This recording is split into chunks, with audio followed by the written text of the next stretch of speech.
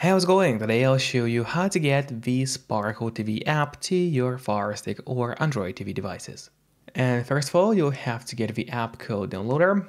You can actually get Downloader free of charge from your official Amazon App Store. Just go to search and start typing Downloader in the search bar. So that's what we are doing right now. Type in Downloader and as you can see, Downloader has already popped out for us at the bottom. So click on it and now there's the app that you gotta get to your Fire Stick device. But after you got the Downloader, it's not over yet, because still you have to set it up. And now to actually set up Downloader on your Fire Stick, you need to go to Settings by clicking this button with a gear icon. After that, scroll down until you see My Fire TV. Open it. And from here, you need to turn on developer options on your Fire TV Stick device. But on some Fire Sticks, and especially on the new Fire TV Stick devices, the developer options might be hidden by default. So if that is the case, and you cannot find developer options anywhere, then no need to worry because it's pretty easy to make them appear. Just go to About, select Fire TV Stick, and now you have to start clicking on the middle button on your remote. And do it fast, so let's do it. And as you can see, now for me at the bottom, it says no need, you are already a developer. That's in my case. And in your case, it is going to say that you have become a developer now. So if you go back a bit, you will finally see developer options, which now have popped out for us right here.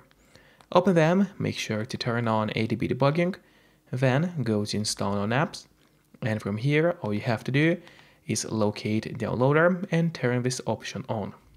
So what it does, it's going to allow you to install other applications from the internet and not necessarily only those apps which are only available in your official Amazon App Store by default. And that's exactly what we're going to do right now. So now, finally, let's go to the list of apps on your Fire TV stick. There it is. We open it, and now here's the downloader, which is set up and ready to use on your Fire TV stick. But before actually using the loader, there is one more thing which I always recommend doing, and it's of course connecting to a VPN. In my case, I mostly use NordVPN. Because they are super fast, they got a great app for Fire Sticks, Android TVs, phones, laptops, or pretty much any other device you may use. And they are not expensive for such a premium service. In fact, they cost less than a cup of coffee per month, which is great pricing for us, the users. In the VPN app, you just connect to any server, let's say I will connect to Ukraine, and from the moment you connect, all your traffic is going to be totally encrypted. It means that no one can track you or snoop on you online, and that's really important if you want to stay out of trouble. And if you don't have a VPN yet, but you want to try it out, I do have a great offer for you. If you use my link, which will be in a pinned comment below the video or in the description of this video, you'll get 3 months of NordVPN totally for free, which is an amazing offer. And if you're watching this video on your TV or on your Fire Stick, then just grab your phone or your computer, open up a web browser, and go to topvpnoffer.com. That's my website, which is going to give you the same amazing deal for NordVPN, with 3 months for free. Or just scan the QR code which you can see on the screen right now with a camera of your phone. It works the same way and it's also going to give you the same deal for Nord. And now, finally, let's use Downloader safely. So we go straight back to the list of apps on your device, open up Downloader and wait until it loads for you.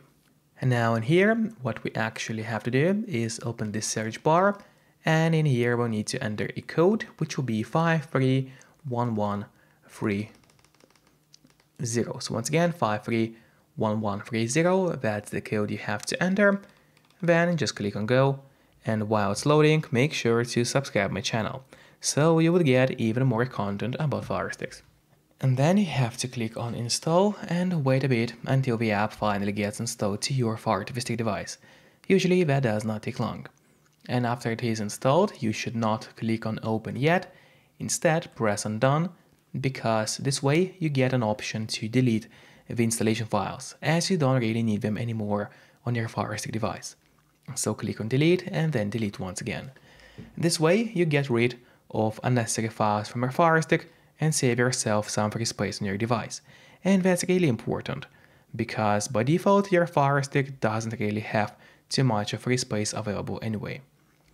And now, finally, when you go to the list of apps on your Fire device, here it is, let's open it, and there's the Sparkle TV which we just installed.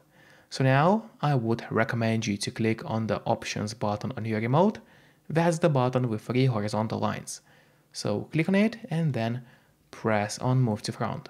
This way the app will always be at the very top of your application list and therefore it's going to be pretty easy for you to access the app every time you need it.